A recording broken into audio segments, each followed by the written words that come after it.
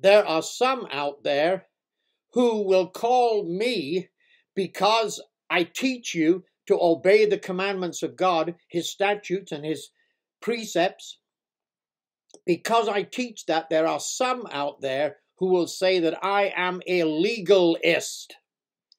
Well, if you have Jesus as your Savior, you should be reading about Jesus. You should be studying what He taught. And you can only do that by reading the four Gospels. And if you have a red letter New Testament, that should be easy to find the words of Christ and to read them, to study them, to see what he taught. Turn to Matthew 4, verse 4. Jesus said, It is written, Man shall not live by bread alone, but by every word that proceeds out of the mouth of God. Now, is Jesus a legalist? Because he tells you, as a disciple of Jesus Christ, he tells you that you better, you should be living by every word of God. You should be studying the Bible from Genesis to Revelation and letting it teach you how to live. Matthew chapter 24 the disciples asked Jesus what would be the signs of his coming, that they would know when his coming was imminent. You can read about that in Matthew 24, verse 3. And he goes on to give those signs. And one of those signs was indeed a time of trouble coming on this earth like the world has never seen before.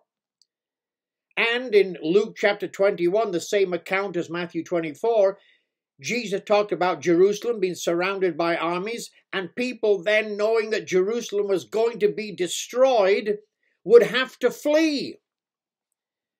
And he brings this out in Matthew 24.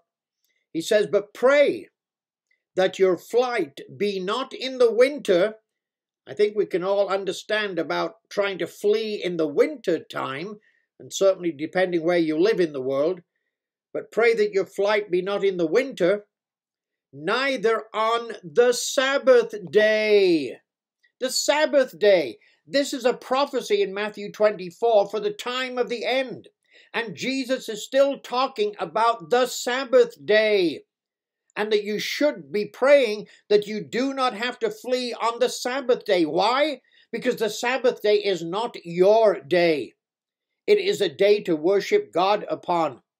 It is not a day to do your own thing and even to the point of saving your own life. You are to be worshiping God on that day. And Jesus plainly here showed that the Sabbath day would still be in existence just before he returned in a time when you had to flee away out of the danger that was around you. The Sabbath day that Jesus knew about in the Gospels is very clear. It is very clear there is the er, the only Sabbath day that was in existence at the time of Jesus Christ, the only weekly Sabbath day in existence, was the fourth commandment. And it was to do with the seventh day. And it was to do indeed with Jesus keeping the Sabbath in the Gospels. He never argued with the Pharisees about which day was the Sabbath. He just argued with them and debated with them about how you keep the Sabbath.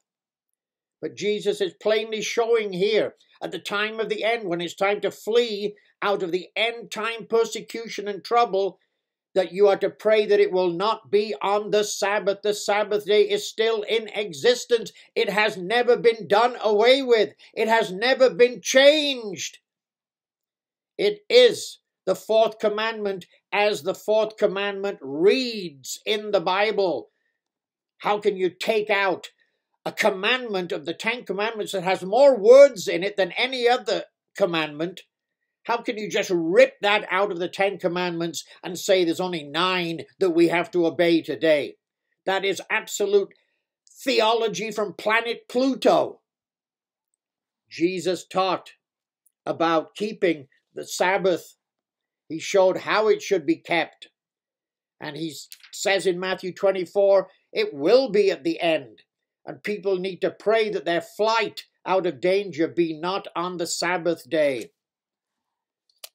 Is Jesus legalistic? Well, let's see a little more here. Matthew chapter 25, beginning in verse 31. When the Son of Man shall come in his glory, and all the holy angels with him, then shall he sit upon the throne of his glory. And before him shall be gathered all nations, and he shall separate them one from another, as a shepherd divides his sheep from the goats. And he shall set the sheep on his right hand, but the goats on the left. Then shall the king say unto them on his right hand, Come, you blessed of my father, inherit the kingdom prepared for you from the foundations of the, of the world. For I was hungry, and you gave me food. I was thirsty, and you gave me drink. I was a stranger, and you took me in. Naked, and you clothed me. I was sick, and you visited me. I was in prison, and you came unto me. Then shall the righteous.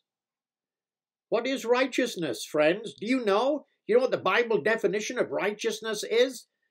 Psalm 119, verse 172. Mark it in yellow. Always remember it, the Bible definition of righteousness. Then shall the righteous answer him, saying, Lord, when did we see you hungry and fed you, and thirsty and gave you to drink? When did we see you as a stranger and took you in, or naked and clothed you? Or when did we see you in prison and came unto you? And the king shall answer and say unto them, Truly I say unto you, inasmuch as you have done it unto one of the least of these my brethren, you have done it unto me. Then shall he say also to them on his left hand, Depart from me, you cursed, even into everlasting fire, prepared for the devil and his angels. For I was hungry, and you did not feed me. I was thirsty, and you did not give me drink. I was a stranger and you didn't take me in. I was naked and you didn't clothe me. I was in prison and you didn't visit me. Then shall they also answer and say unto him, Lord, when saw we hungry or thirsty or stranger or naked or sick or in prison and did not do it unto you? Then shall he answer them, saying, Truly I say unto you, inasmuch as you did it not to one of the least of these you did not do it to me. Now notice verse 46. And these, the ones that didn't do it, these shall go away into everlasting punishment, but the righteous into life eternal. Did Jesus teach salvation by works? No, he did not. He did not teach salvation by works and what he inspired in the rest of the New Testament clearly proves that that you do not gain salvation by working at it, adding up X number of points above all the bad points and somehow working your way into salvation. He never taught such a thing. And salvation is indeed you are saved by grace, not of works. You're saved by grace because, look, it's very simple. You could keep the Ten Commandments of God perfect for a month. But if you commit one sin, you are guilty of sin. You are, you come under the death penalty.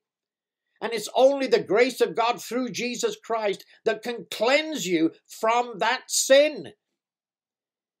It's, it's, it's like you're driving and you obey the speed limit for a month, maybe a year, maybe two or three years, and then you break it one day and the policeman stops you and he gives you a ticket, does he say to you, how many times did you keep it in the past so as I could maybe, uh, you know, wipe this ticket away? Does he even ask you such a question? No, of course not. You have broken the speed limit and he gives you a penalty. And he doesn't ask how many times you've kept it good because that can wipe away the time that you didn't keep it correctly. Of course not. And it's the same with salvation. Jesus did not teach salvation by works, but he did teach what he taught here. Have you just read it? Have you listened to it? Have you listened to the words of Christ that I just quoted to you? Jesus taught that if you did not have the nature of God, and God is love, God is merciful, God is kind, God is patient, God is giving, He is a serving God. Jesus said that He lets the rain and the sun shine on the evil and, and the good. He is a concerned God, He's a helpful God. That's part of His character. And unless you, as a Christian, have his character dwelling in you through the Holy Spirit of power, through God's nature in you, unless you have that in you, and, and, and, unless you are manifesting that by the way that you live, and this is what Jesus is saying here it is a lifestyle. Being a Christian is a lifestyle. It's a way you live. It's not just in your mind and in your heart. It's how you live in actions. It is a lifestyle. And unless you have this particular lifestyle in you, you just ain't going to be in God's kingdom. That's what Jesus plainly taught here. Not salvation by works, but a true Christian, a true child of God is filled with his nature. And his nature is serving people, it is helping people, it is doing good when you can. And I know we're all in different situations. Some of us have more physical goods than others, some of us have more money than others. It's whatever God has given us to use in this lifetime that we can still serve our fellow man and that we are to. We are to serve our fellow man in whatever way that we can. It's a part of God's character. And if you don't have that character in you, as plainly as Jesus said here, these shall go away into everlasting punishment. But the righteous, the ones who are doing the righteousness of God, into eternal life. And part of the righteousness of God is serving others, is helping others, giving to others, doing whatever you can with whatever you have been given to serve others. And that is not legalistic. If you think it is, if you think doing those things is legalistic, then you have said you are making out Christ to be legalistic. I know how you're trying to use this word legalistic, many of you ministers. I know how you're trying to use it.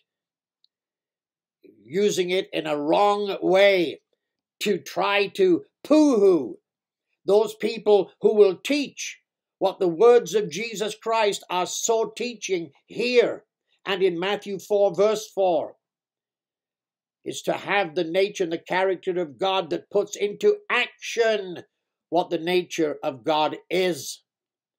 And indeed, plain words here, plain words.